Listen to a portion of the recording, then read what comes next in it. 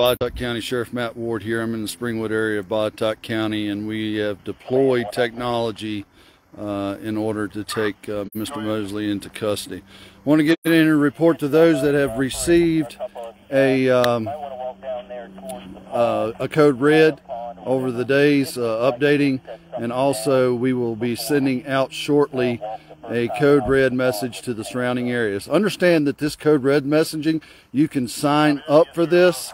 However, you have to be within the circumference of that code red. So sometimes a neighbor across the street may get the message, but you won't get the message. It's all based on the circular diameter from the pinpoint of where we set it out uh, uh, based upon miles and where we're at.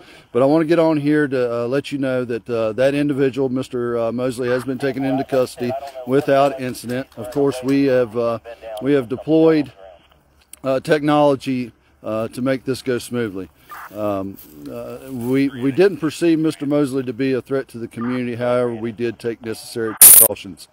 sometimes when people are backed into a corner, they uh, take uh, desperate measures, and obviously he wasn't turning himself in, but uh, he has cooperated. He came to our uh, voices and our commands, and we did utilize uh, technology in cooperation with the Virginia State Police